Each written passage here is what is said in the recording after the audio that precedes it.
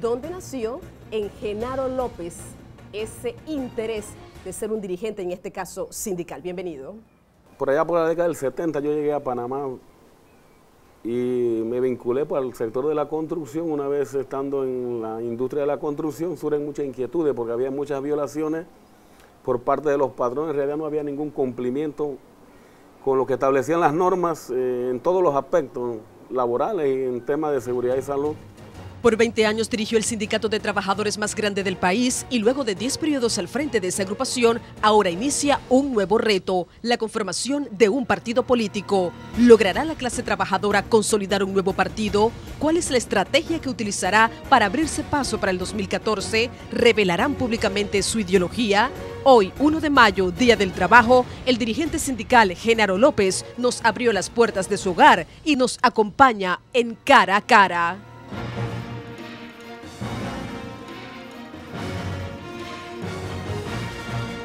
Don Genaro, gracias por abrirnos las puertas de su hogar. Vamos a comenzar por aquí. ¿Qué hacía Genaro? ¿Cuál era su labor dentro de la construcción cuando inició? Bueno, como todos los trabajadores, o por lo menos un alto porcentaje que entra como ayudante general, porque en la construcción casi la regla general es que tú eh, te haces empíricamente, o sea, ¿verdad? En la práctica tú vas aprendiendo pues oficios y te van calificando de acuerdo a los conocimientos que tengas, pero como ayudante general empecé.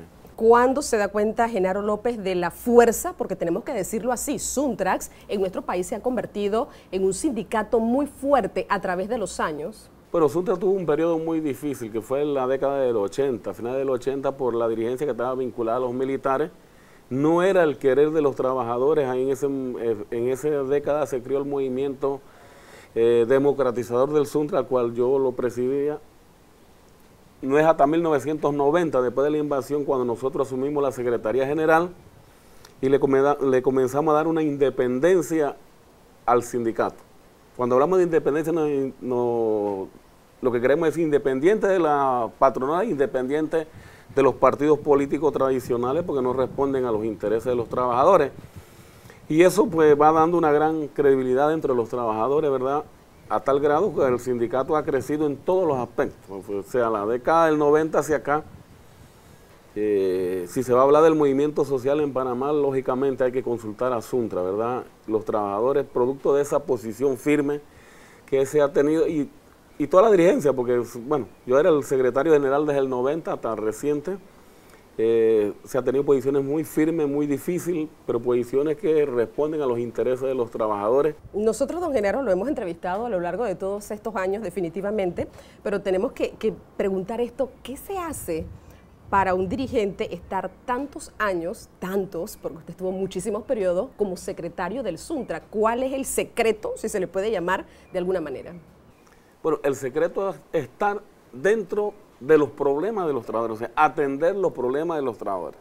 En Suntra, quizá en estos últimos años yo me he retirado un poco de los trabajadores, ¿verdad? Por otra serie de compromisos, pero la fuerza o la credibilidad de los dirigentes es discutir con los trabajadores sus problemas, tratarles de resolver sus problemas fundamentales, ¿verdad?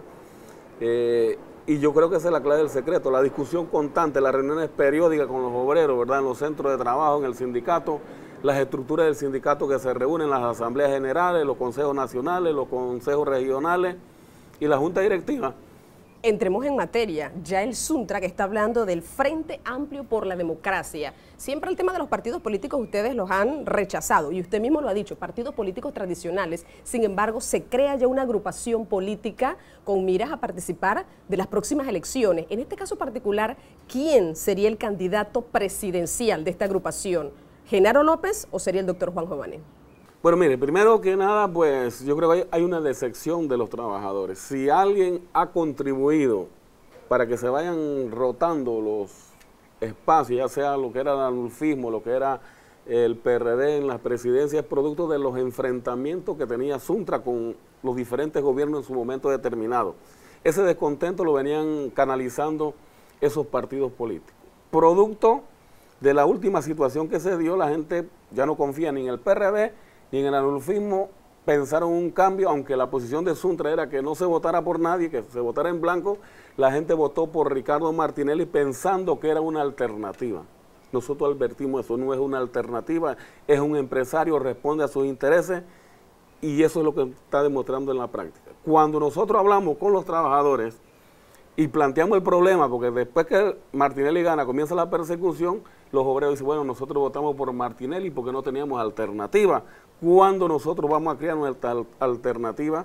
Y es un tema que se comienza desde ese momento a discutir con los trabajadores y por eso pues se crea el Frente Amplio por la Democracia que aspira pues a participar en el 2014, ya cumplimos con el primer proceso de presentar la documentación, estamos en estos momentos que el Ministerio, el Tribunal Electoral de la resolución del partido en formación para comenzar a inscribir, creemos que debemos inscribir el partido en este año y el candidato tiene que ser discutido a nivel de eh, Frente Amplio por la Democracia, quién puede ser el candidato potable. Se dice que mi persona hemos manifestado, yo nunca ha planteado que yo quiero ser el candidato. Si las organizaciones deciden que yo sea el candidato, pues con mucho gusto asumiré esa responsabilidad. Y yo creo que hay un buen ambiente, hay un buen ambiente a nivel de las organizaciones, pero el profesor Jované hasta estos momentos no es parte del esfuerzo del Frente Amplio por la Democracia. Ellos trataron de constituir un partido, no lograron cumplir con los requisitos y el partido pues ha sido anulado por el Tribunal Electoral. Yo no sé si van a insistir en inscribirlo. Habrá en el futuro que hacer una discusión con este esfuerzo que ellos estuvieron haciendo para ver si puede haber acuerdo, pero por ahora pues él no, no es parte del Frente Amplio por la Democracia. Pero muy en el fondo, Genaro López, ¿le gustaría ser presidente de la República de este país?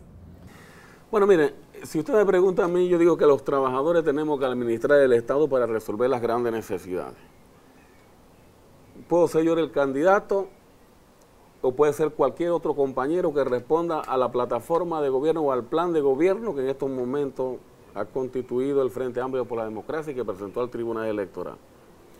Porque los gobiernos no es de una sola persona, es de un equipo, ¿verdad? El presidente influye mucho más en un sistema nuestro como el presidencial, pero lógicamente que si nosotros llegamos a ese puesto, vamos a tratar de resolver las grandes necesidades que tiene esta población. Eso tiene que entenderse, ¿verdad? Y es una cuestión bien sencilla que la población tiene que comprender. O sea, este pueblo, la mayoría es pobre, son trabajadores. Los trabajadores tienen que votar por los trabajadores, ¿verdad? Los trabajadores no pueden votar por intereses contrarios porque están equivocados y eso lo ha demostrado los diferentes gobiernos cuando votaron con Toro Valladares, cuando votaron con Mirella, cuando votaron con Martinelli. O sea, hay que buscar un candidato de los trabajadores que respondan al plan de gobierno que tengan, en este caso, los trabajadores. Si yo le pregunto a usted directamente, ¿cuál es la ideología del Suntrack? Usted me podría responder esa pregunta en una sola palabra, o de derecha o de, izquierda, o estamos en el medio. ¿Cuál sería la respuesta? Bueno, Porque nunca se ha hecho abiertamente. Primero que nada, Suntra está compuesto por diferentes eh, trabajadores con, diferentes posiciones políticas, ¿verdad? Su dirección es una eh, su dirección es una orientación de tendencia eh, de resolver las necesidades de las mayorías. Si usted me pregunta a mí, yo creo que se ajusta más al socialismo en un país como el nuestro, que es muy capitalista y con este interés de querer llevar un partido político y por supuesto al final del camino a la presidencia de la República, ¿usted cree que habría cabida realmente en nuestro país? Sí, pero es que el partido político, el Frente Amplio por la Democracia no es de Suntra, es un conjunto de organizaciones que son parte. Ahí hay eh, indígenas, hay campesinos, hay trabajadores, hay profesionales. Pero van con una ideología socialista. Hay, estudiantes, de manera tal que nosotros tenemos que comprender eso. Y lógicamente, si nosotros administramos, llegamos a, ganar las elecciones en el 2014 como pensamos, tenemos que entender que vivimos en un país capitalista, ¿verdad? Eso, y sabemos cuáles son las reglas. O sea, eso hay que entenderlo, ¿verdad? Pero es un partido pluralista, o sea, de diferentes eh, compuesto por diferentes pensamientos que lógicamente eso se va a respetar y hay que buscar un consenso entre todos los que componen este esfuerzo del Frente Amplio por la Democracia. Pero hay cabida en Panamá, ¿usted qué piensa?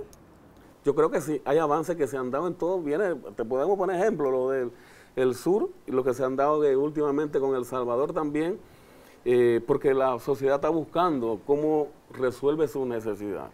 Señor Genaro, ¿ustedes han recibido apoyo económico de Cuba y Venezuela? Nunca hemos recibido. Se nos acusa de que nosotros recibimos apoyo. Suntra, su funcionamiento es de la cota sindical que aportan los trabajadores ¿verdad? Pero nosotros nunca hemos recibido eh, apoyo ni de Cuba ni de Venezuela, ni un solo centavo. De eso ustedes pueden estar seguras.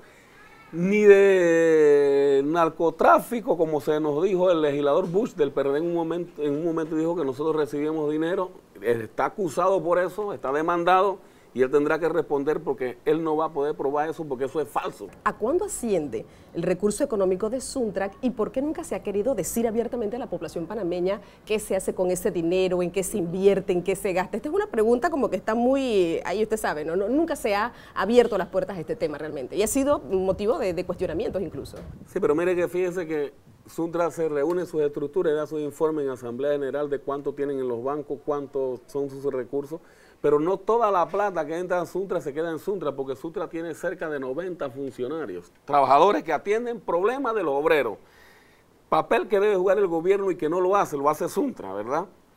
Tiene sesionales en Boca del Toro, propia para atender los problemas con infraestructura, personal, carro, internet, computadora, todo lo que se necesita. En Chiriquí, en Santiago, en Coclé, Chorrera, Colón y Panamá. O sea, es una infraestructura sumamente grande que tiene y que tiene y que se atiende con el recurso que aportan los trabajadores.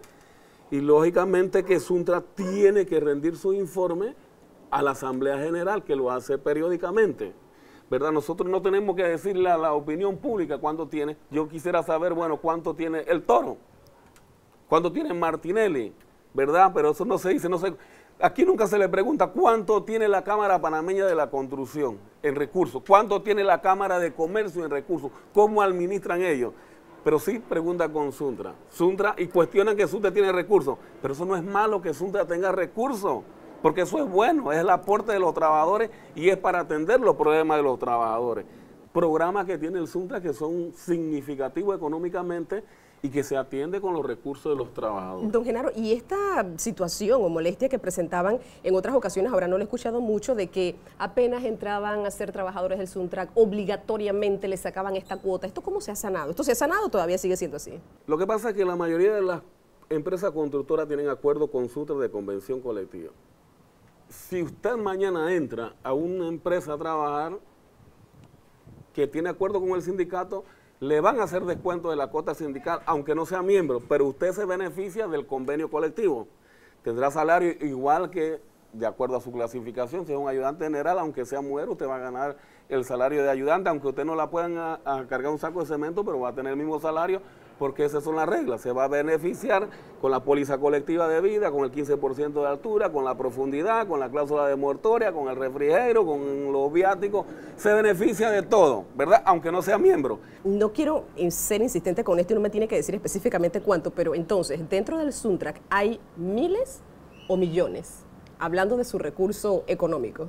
No me diga cuánto, ¿hay miles o millones? Sí, el, sindicato tiene buenos recursos, sí tiene recursos, pero tiene unos gastos sumamente altos también, producto de la infraestructura que tiene. Y ese es un tema que se está discutiendo y el gobierno sabe, el gobierno sabe cuánto tiene Suntra porque ellos son miembros de la junta directiva de los bancos y los dineros del sindicato están en los bancos. Ellos saben perfectamente.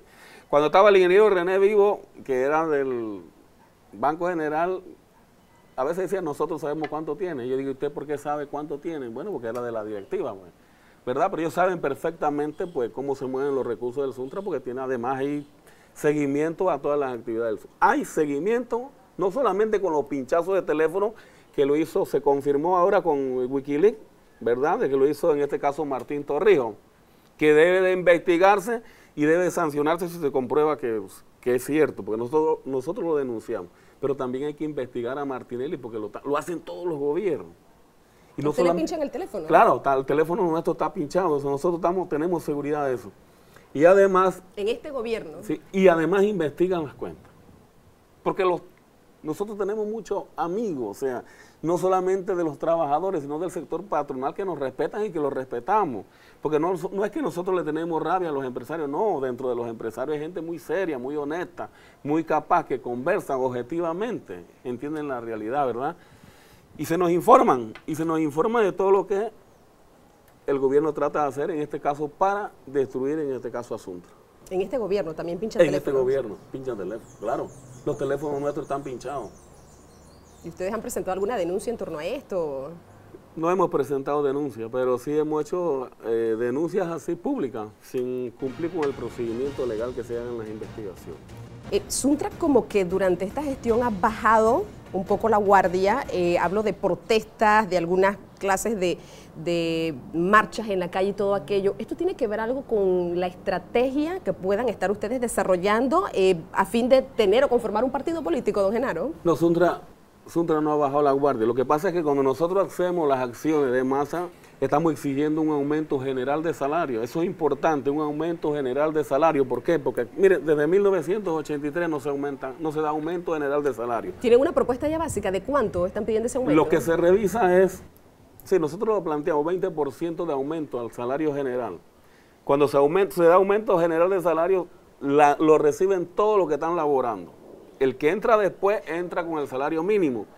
Pero además hay que discutir ya que a propósito el gobierno está citando para el día 6 de junio a la Comisión de Salario Mínimo y lógicamente tiene que haber una propuesta de cuánto debe ser el mínimo. Sin temor a equivocarme debe estar arriba o muy cerca de los mil dólares que debe ser el salario mínimo para que un trabajador pueda resolver su necesidad en base a lo que establecen los organismos que tienen que ver en materia de salario mínimo. Mil dólares. Por lo menos, por ahí debe estar cerca eh, redondeando. Habría que hacer el estudio. ¿Por qué? Porque eso tiene su metodología. Según la Contraloría, debe ser el doble del costo de la canasta familiar, según la Contraloría del Salario. De manera tal que si el costo de la canasta, de las canastas familiares está en 400 dólares, debe ser 800, la metodología de la Contraloría, ¿verdad? ¿Por qué? Porque el obrero no solamente come, tiene gasto de luz, de casa, de transporte, pero hay otra metodología que dicen que el obrero en alimento se gasta el 30%. Entonces hay que ver cuánto cuesta la canasta de alimentos.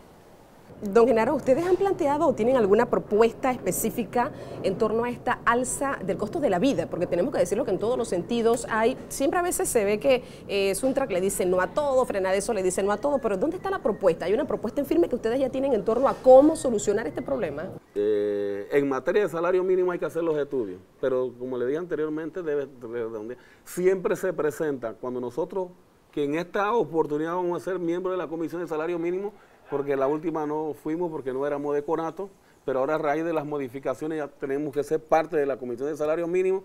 Hay que hacer un estudio para presentar cuánto debe ser el salario mínimo que deben aspirar los obreros. Oiga, ya finalizo con esta pregunta de los gobiernos democráticos que nosotros hemos tenido, las administraciones gubernamentales, eh, ¿cuál considera usted que ha sido la más difícil? Hablo de los presidentes que han estado al frente, contando incluso el actual. Mire, ese tema de la democracia a nosotros nos gusta, porque aquí no existe democracia. Porque para ellos la democracia es cada cinco años ir a elegir el verdugo que va a imponer sanciones contra la población, que aumenta los precios de los artículos de primera necesidad, que hacen leyes que lo benefician a ellos, que no resuelven las necesidades de la población. Si usted me pregunta, nosotros hemos sido perseguidos por todos los gobiernos, por todos los gobiernos, desde el 90 para acá sin equivocarme. Sin excepciones. Pero sin excepciones. Pero el más perseguidor ha sido este. Ha sido este. Su política de persecución contra el movimiento. Hay una política de persecución contra el movimiento sindical desde que el gobierno tomó oposición.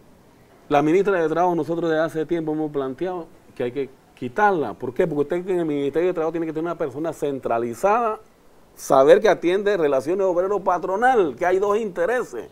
O sea, usted no puede estar hacia un lado, pero todo el mundo sabe que la ministra está parcializada con el sector patronal.